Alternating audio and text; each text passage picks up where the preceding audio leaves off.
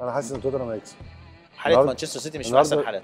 وتوتنهام الطريقة اللي لعبوا بيها آخر ربع ساعة كانوا بيقاتلوا وكانوا واضح إن في حالة آم، آه، يعني آم، يعني مورينيو تحس إن هو كان كاتم على اللعيبة. آه. لما دايما أي فرقة مورينيو بيمشي منها بيقعد ثلاث أربع مرات ماتشات يكسبوا. صح. زي آه. زي زي تشيلسي وزي ريال مدريد وزي كل زي مانشستر يونايتد.